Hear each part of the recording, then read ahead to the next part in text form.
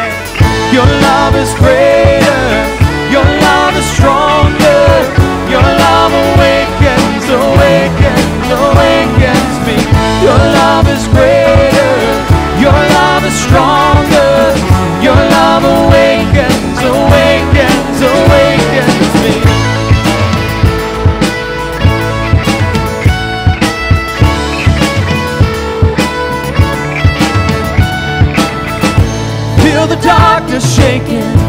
All the dead are coming back to life.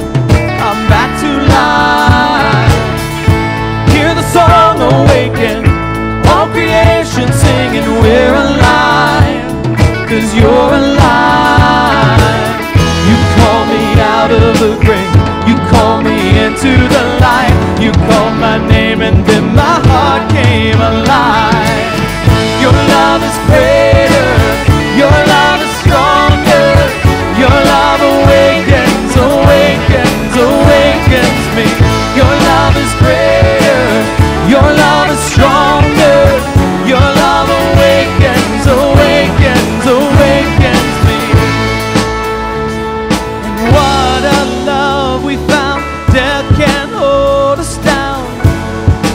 Shout it out.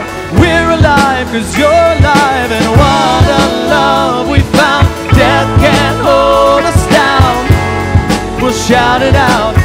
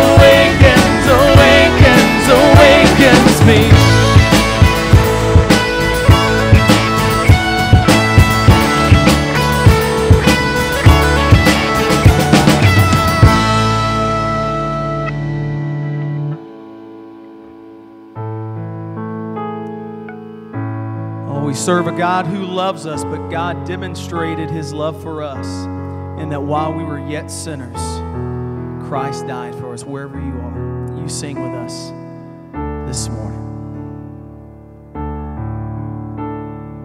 He is jealous for me. Love's like a hurricane. I am a tree bending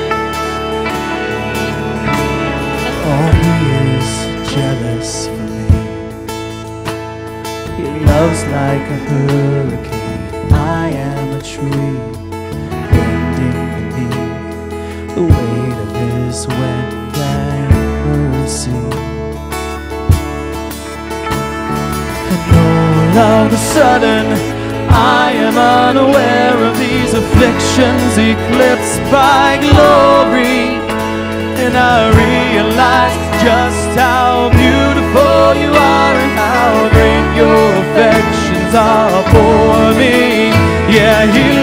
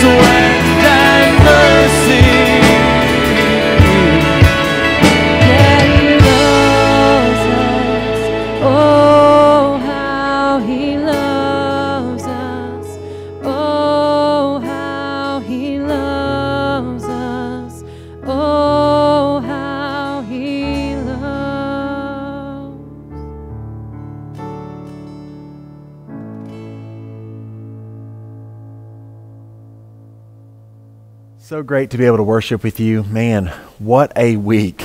Uh, just seven days ago, we gathered here in the room and celebrated being completely debt free for the first time in many years. And what an amazing day that was, and an amazing celebration. And we're so glad that you were able to be a part of it if you were here with us or joined online. Uh, since then, um, snow, right? Lots of it, and most of us have been shut down. I hope you've been enjoying the time at home with your family. If you've got kiddos who've been home trying to learn virtually like ours have, that you've made the most of those moments. Uh, but it's been interesting. For us here at the church building on Tuesday uh, evening, we had two pipes in two different locations in the building freeze and burst, dumping thousands of gallons of water into the building, caving in ceilings, and really just causing an overall mess, which is one of the reasons, really the reason why we are exclusively online today. And so thank you for your flexibility in that. And special thank you to everyone who rallied and showed up with uh, vacuums and squeegees um, to do everything they could to mitigate the damage while we waited on a crew to get here to do that professionally. And they were able to start at about 10:30 on Tuesday night, cleaning up and extracting water from the building. And that process of us restoring all this will be uh, several weeks in the in the making. So we just want to thank you in advance for your flexibility as we adjust to the reality of our building. But two weeks ago, we started a series called What Your World Needs Now. And specifically, we talked about the love of God. And in that first message, we talked about how the heart of every command of God is love. We began with this that the group of Pharisees in Matthew 22 asked Jesus this question Teacher, which command in the law is the greatest?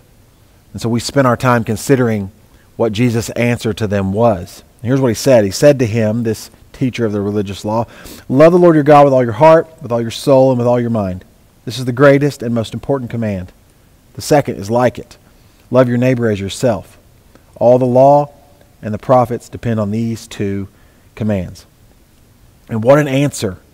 He gives them the correct answer, but he also gives them more.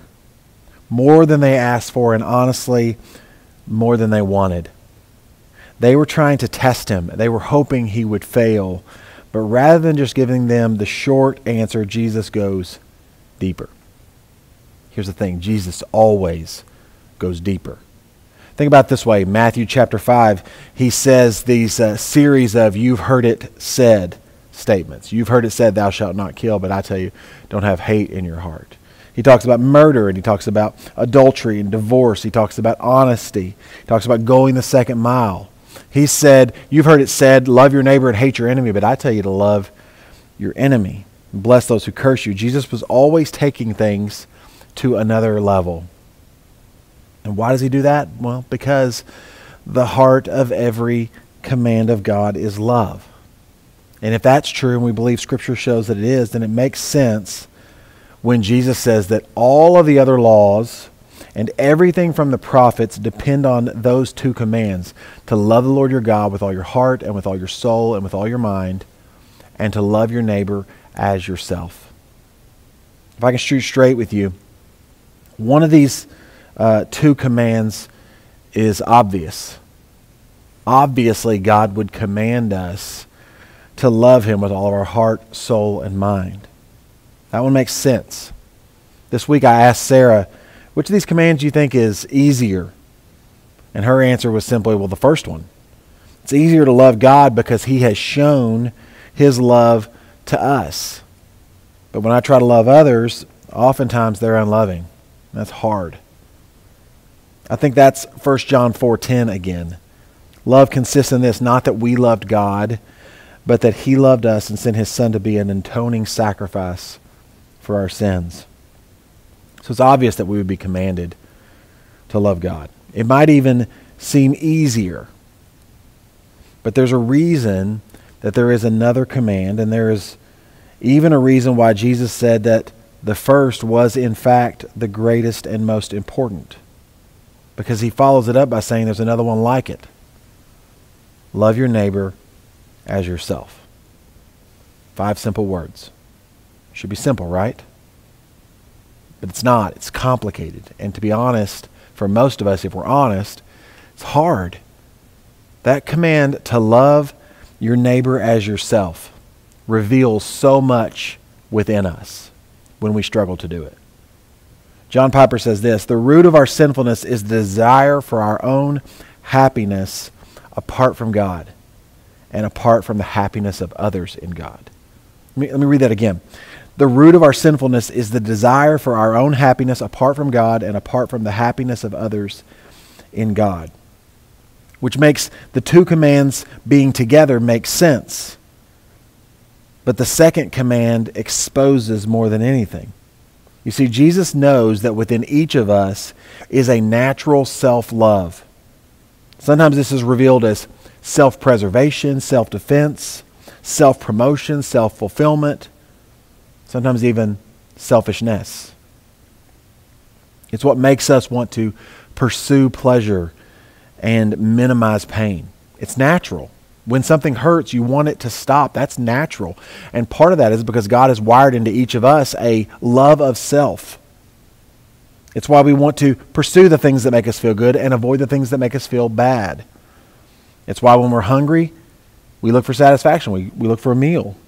It's why we pursue dreams and try to accomplish great things and accumulate wealth and experience happiness. All of this is wired into us with this natural self love.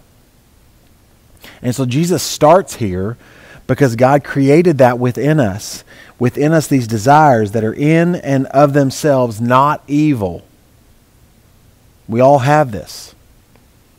But another form of this self love is pride. And pride is the twisted sense of self love. That's this selfishness. That's where there's this desire for satisfaction, for happiness, for, for, for fulfillment apart from God and apart from others. Pride is the pursuit of happiness anywhere but in the glory of God and the good of other people. It's the root of all sin. It was the root of the very first sin in the garden. You remember what the serpent told Eve? You won't die. You'll become like God. And she wanted that. Pride. Bam. Self love. So Jesus starts with how he knows we tend to love ourselves and basically says, if I could paraphrase, you know how you love yourself so much? Love your neighbor like that too. Which means the way you want good food when you're hungry, want that for your neighbor. The nice clothes that you buy for yourself, seek those for your neighbor. A warm place to live for yourself, desire that for your neighbor. Safety for yourself, justice for yourself, friends for yourself, significance, success, the way you desire to be welcomed and loved and accepted, want that for your neighbor as well. Oh, so so I just need to want it for them. Done. I want them to have all the good things. I want you to have all the good things. Well, what did Jesus actually say? He said, Love your neighbor as yourself. Whatever effort you put in to your own self seeking and self love, love your neighbor like that as yourself. You work to pursue these things for yourself, so you must work in the same way to pursue these things for your neighbor as well. Jesus gives us this visible, measurable way to know if we're loving our neighbor the way he wants us to. The same energy and creativity and ingenuity that you apply to your own self love should be applied to the way you love your neighbor the way I love my neighbor. So, in other words, use your self love and your self seeking as the metric. Whatever level that you are willing to pursue these things for yourself, mirror that in the way that you love your neighbor, those around you, as yourself. But I don't care who you are, that's hard. Because it feels like Jesus is telling us not just to love others as ourselves, but sometimes it feels like he's telling us to love them instead of loving ourselves. Like we have to sacrifice providing for ourselves so that we can provide for others. We fear that if we follow Jesus in this and really devote ourselves to pursuing the happiness of others, then our own desire for happiness will never be satisfied. And so we have this tension. You've probably felt that tension and lived in that tension. And so, to that, I would tell you there's a reason why the first command is first. There's a reason why the command to love the Lord your God with all your heart and with all your soul and with all your mind is the greatest and most important. There's a reason why the first one comes first. It's, it's the first commandment that makes the second commandment doable. apart from the first commandment, you can't do the second commandment. It, the first commandment makes the second commandment doable and takes away the threat that the second commandment, trying to love my neighbor as myself, is really like the suicide of my own happiness. The first commandment is love the Lord your God with all your heart, and with all your soul, and with all your mind. And it's the basis of the second commandment. The second commandment is a visible expression of the first commandment, which means this before you make your own self seeking and self love the metric or the measure of your self giving to others, make God the focus of your self seeking. This is the point of the first commandment. The things that you desire most for yourself, and that in getting them you would feel like you are loving yourself, the things you want most, the things that will accomplish that, can only be found in God. In other words, look to God to satisfy your needs, to satisfy your longing, to bring you fulfillment and joy and ultimate satisfaction. Focus all of that energy, all of the self love energy, focus all of that energy on God. And when you do that, and when you obey the first command, when we love God like that, God satisfies and God supplies. So then I'm not threatened by the command to love others as I love myself because I'm not worried about going unsatisfied. Because I know that God is the source of all of that satisfaction. I have found my satisfaction in Him alone. So now, if I've done number one, the first commandment, I am now free to love you not only as I love myself, but as God has loved me. I am now free to seek your good and your happiness and your even pleasure. I'm, I'm, I'm free to love you as I love myself. And this, this doesn't mean that everything gets easy and that there are no complexities in loving our neighbors. We all have a limited amount of time and a limited amount of resources. What should I give up? What should I keep? If my goal is to pursue the good of my neighbors, the good of my city, how do I really know what is good for them? These are tough questions. You're going to grapple with these things. But I'm going to tell you what. As you follow the Holy Spirit and as you truly desire to love your neighbors as you love yourself, God will make it clear the next steps for you. Because, in spite of the difficulty of loving our neighbors as we love ourselves, love of God with heart and soul and mind sustains us and refreshes us and satisfies us.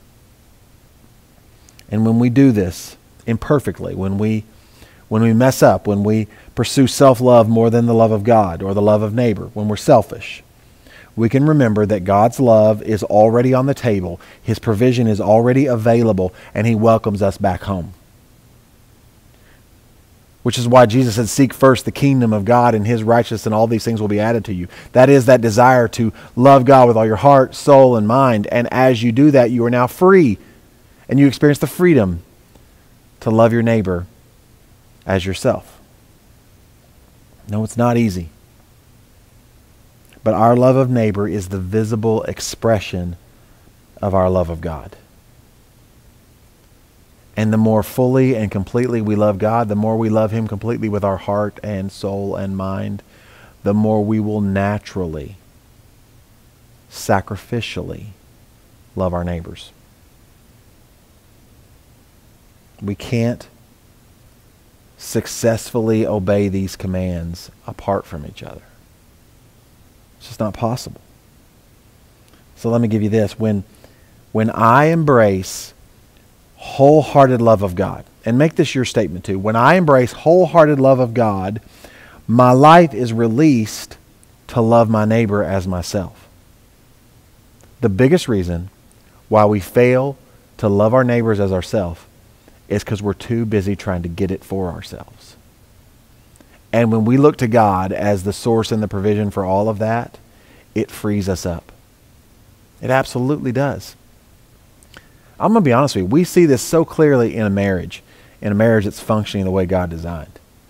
In a marriage where there's mutual submission and mutual sacrifice and mutual love, where I don't have to worry about my needs being met because you're meeting my needs, which frees me up to meet your needs, which frees you up to meet my needs, which frees you see how that works? It's the same way, except that in loving God with all my heart, soul, and mind, it frees me up to love my neighbor the way I love myself, the way God has loved me.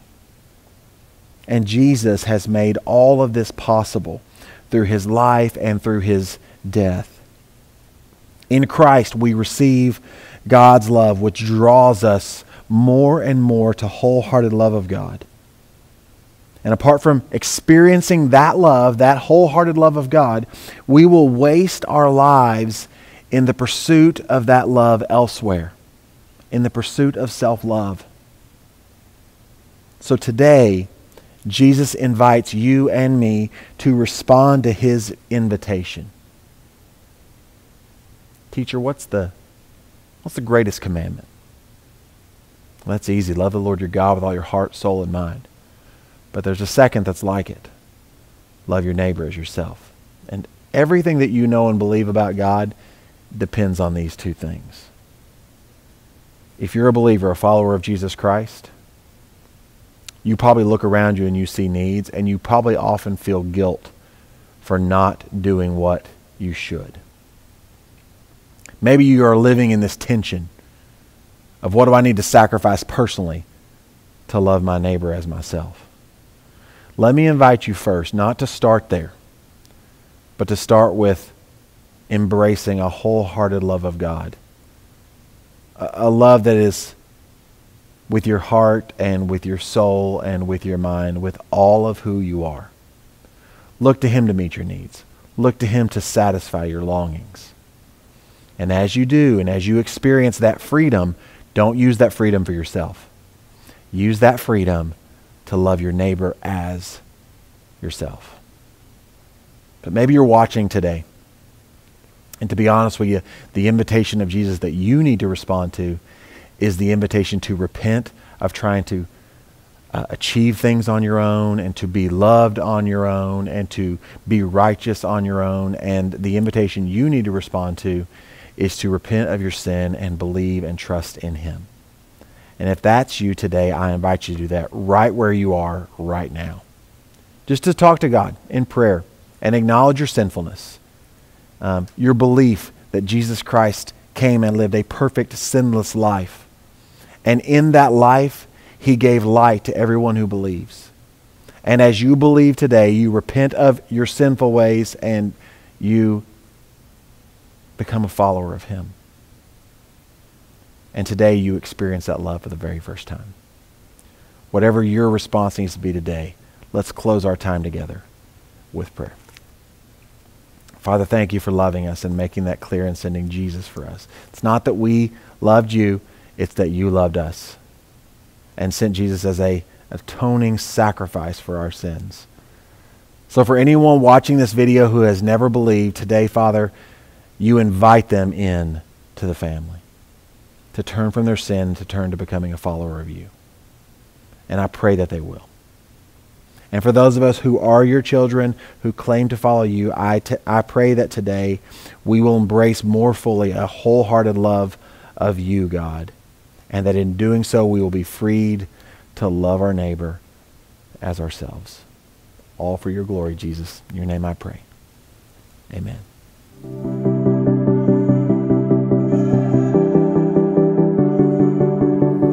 Thanks so much for being a part of our worship service online today. I hope that this service was a blessing to you and your family.